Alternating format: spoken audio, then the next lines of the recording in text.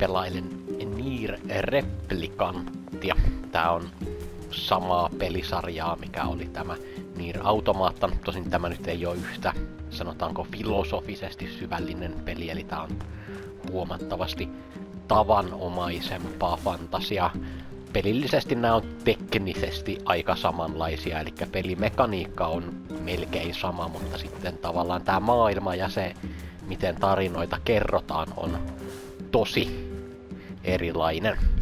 En tässä nyt näytä hirveästi seikkailua, mutta toivon, että ihmiset nyt kiinnittävät huomiota taustamusiikkiin.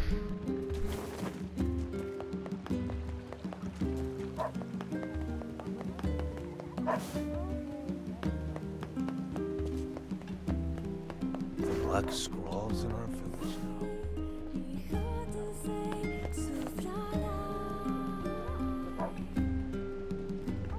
Tää on aika kiva. Mä tykkään, että on hauska kappale. Mutta tavallaan se ei ole nyt se syy, miksi minä teen tämän videon, vaan se, että jos me kuunnellaan toi helskyttely, niin itse asiassa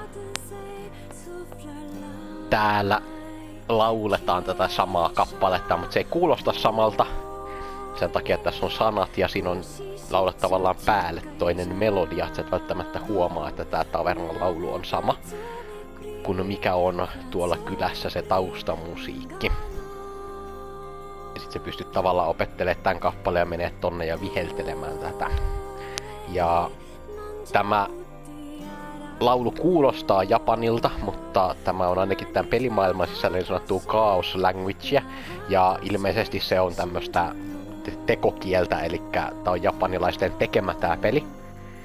Tää laulu kuulostaa Japanilta. On siellä muutama sellainen sana, joka kuulostaa mun korvaan myös Venäjältä, mutta se ei ilmeisesti ole mitään oikeaa kieltä. Mä en tietysti voi tätä varmistaa, koska minä en osaa Japania, enkä minä kyllä Venäjääkään osaa. Ja tärkeää tässä tietysti on se, että tuolla laululla on tämmöinen tärkeä sisältö. Eli tää on hyvin vanha kappale, on toi Song of the Ancients. Ja näin tämän pelimaailman sisällä. Ja nämä ihmiset puhuu englantia, eli nämä ihmiset ymmärtää noita sanoja yhtä vähän kuin sinä ja minä. Täältä tosin sitten löytyy yhdestä paikasta sellainen kylä, missä ne kyläläiset puhuu tuota kieltä. Mitä se sitten onkaan, chaos language tai jotain vastaavaa. Ja se mikä tässä nyt on mielenkiintoista on se kysymys, että me kuunnellaan tuota kappaletta, joka siis on tehty jollain tällaisella mystiskryptisellä kielellä, joka on suusanallisesti siirtynyt pardilta toiselle. Niin kun me kuunnellaan sitä tässä maailmassa, niin olemmeko me tekemässä historiaa?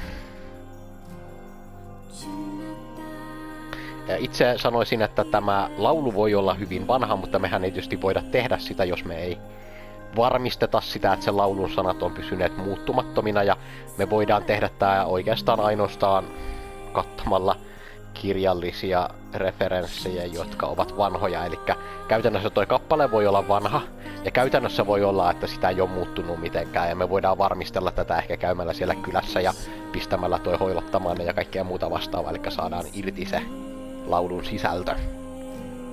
Mutta mä näkisin, että tuo ei ole historia. Eli me emme opiskele historiaa, me opiskelemme laulua, joka on siirtynyt tämmöisenä elävänä perinteenä.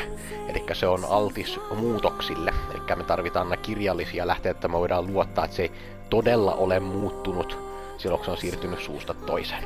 Ja tämähän on semmonen asia, mitä nyt ei välttämättä missään raamattu tunneilla kuule, koska siellä hirveästi korostetaan juuri sitä, että koska nämä laulut ovat olleet niin tärkeitä, niin sitten menneisyyden ihmiset ovat, ovat esimerkiksi raamatun juttuja kertoneet niin, että niistä ei ole kirjaintakaan muuttunut ennen kuin niitä on kirjoitettu ylös. Eli ajatellaan, että tämmöinen suullinen perinne on pitänyt sen muuttumattomana siksi, että se on niin tärkeä asia.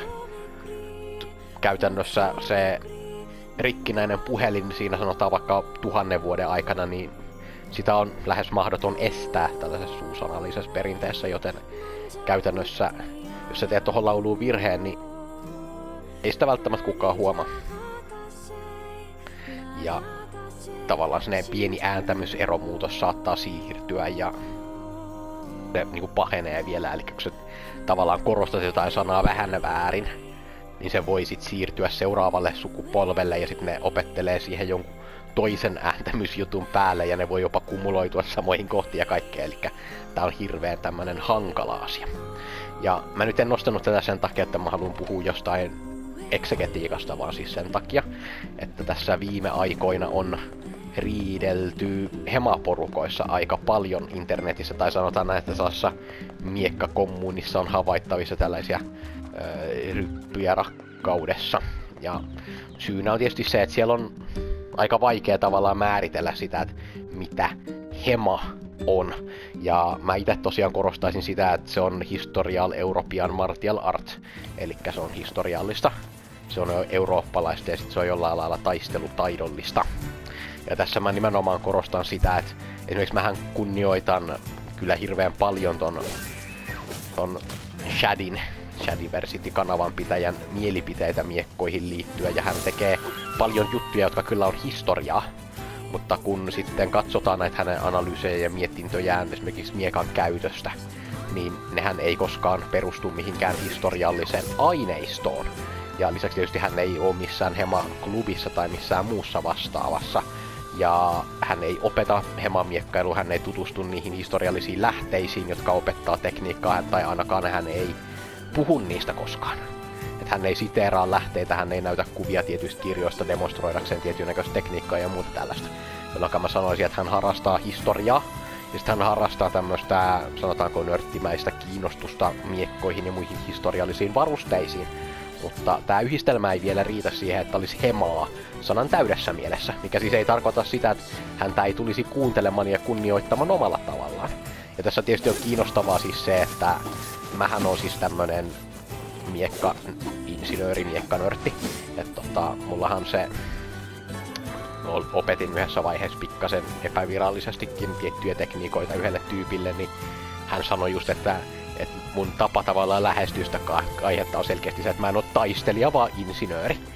Ja se varmasti pitää paikkansa. Ja tässähän tietysti on se, että mun lähdeaineisto, mihin mä erityisesti nyt viime aikoina on keskittynyt, on Docciolini, joka siis ei ole kaikista kovin soturi ikinä. Toisaalta no tietysti mä oon ollut tosi monta vuotta Emma-klubissa, joka on sitten tehnyt hyvinkin korkeasti tutkittua Fiorea, eli se on hyvin niin kuin hema-hemaa. Ja se on myöskin sit taistelullisesti tehokasta ja tietysti on siinä sivussa oppinutkin siitä jotain.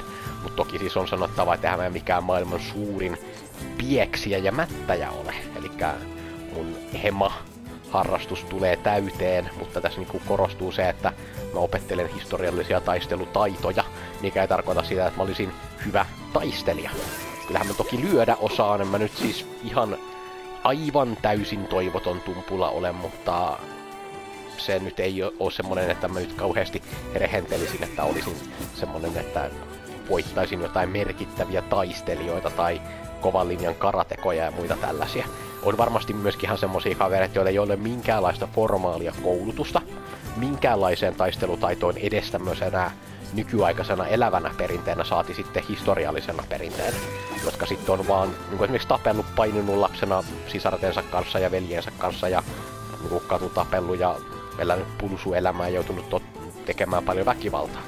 Niin niillähän saattaa olla semmosia ihmekykyjä, niin kuin mä oon itse kuvannut siis sitä, että kun partijanakin on joutunut ihan oikeasti vähän vältämään tämmöisen sanotaanko öö, pulsuhkon ihmisryhmän kanssa, niin siellä helposti nousee just se, että sä et halua tavallaan tapella niiden kanssa, vaikka sulla olisi niinku monta vuotta enemmän jotain kamppailulaji-taustaa, koska niillä on aina jotain ihmekykyjä.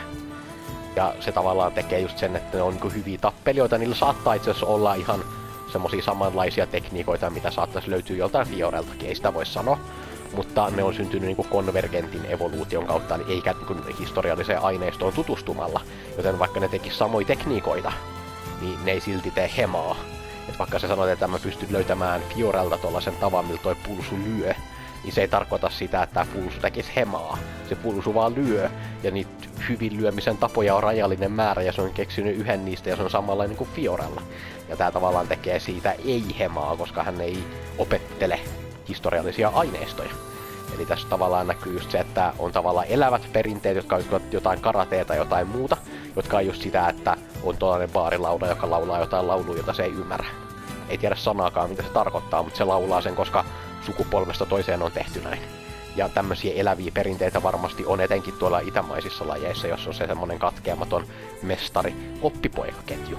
Mutta sitten Hemassa yleensä tätä mestari-oppipoikaketjua ei ole, ja sen vuoksi niissä on tosi tärkeää viitata niihin aineistoihin, että mäkin luen sitä ja käännöksinä ja muutoin, niin että mulla tavallaan on se semmoinen historiallinen aineisto, johon pystyn viittaamaan ja sanomaan, että siellä tehdään näin ja siksi sinun tulee tehdä näin. Ja se on tullut vastaan tavallaan etenkin tuon kahden miekan kanssa, koska tavallaan siellä on sellaisia tiettyjä ongelmia, mitkä Dotsolinin systeemissä ja tyylissä on aika ilmiselviä.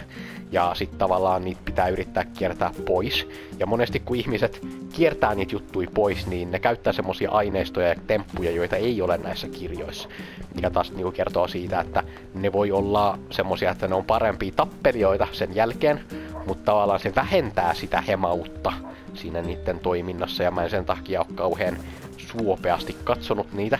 Ensin sen takia, että mä olisin niin hirveä puritaani, vaan siis sen takia, että se aineisto sanoo tiettyjä juttuja ja nuo jutut nyt vaan ei ole sitä, mitä se aineisto sanoo, jolloin tavallaan se rikkoo sitä historiallisuutta, vaikka se voisit samaaikaisesti lisätä sitä martial artiutta.